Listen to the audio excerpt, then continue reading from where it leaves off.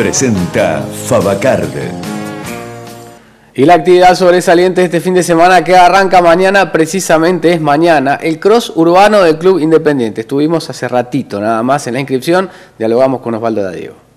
Eh, muy bien, la verdad que bueno, hay mucho, ha habido muchos inscriptos desde el primer momento que abrimos la inscripción ayer a las 6 de la tarde, así que bueno, viene muy bien, con mucha expectativa y creemos que bueno, nos está ayudando mucho el tiempo, que eso es muy importante y a, pesar de, bueno, de que sabemos que es una fecha difícil por el clima, creo que va a ser una muy linda jornada y bueno, hay mucho, mucho entusiasmo, muchas inscripciones, así que me parece que va a ser una jornada llena de, atletas y de deportistas del club para bueno, festejar lo que va a ser el aniversario del otro día. Qué bueno, contanos son las dos instancias, por un lado los corredores y por el otro lado esta caminata también de la familia, dos kilómetros. Bueno, el cross urbano son ocho kilómetros, ¿no? Ocho kilómetros que salen acá del club, toman por la calle Sandino, van hasta López de Osorno y así, bueno, tienen toda la vuelta que llegan hasta, el, bordean el lago, cruzan para la Sociedad Española y bueno, hacen todo un recorrido por la Plaza de las Banderas y terminan aquí en el club.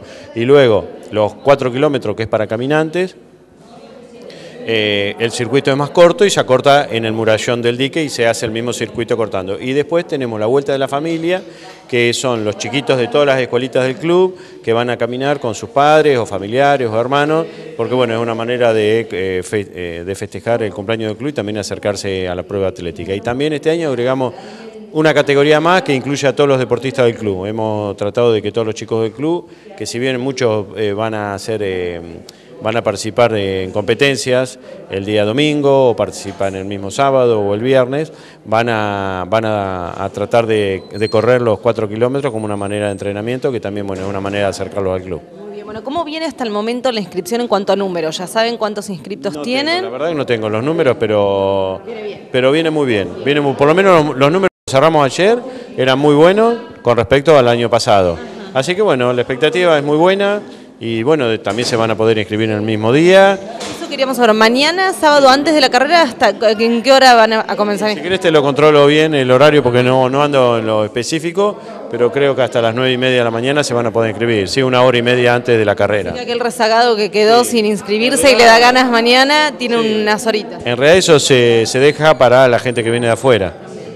Creo que hasta las nueve y media de la mañana se van a poder inscribir. Muy bien, la palabra de Osvaldo Dadiego, mañana 11 de la mañana. Hora señalada, una nueva edición del Cross Urbano. Solicita tu tarjeta Fabacard y accede a increíbles beneficios. Alem 716.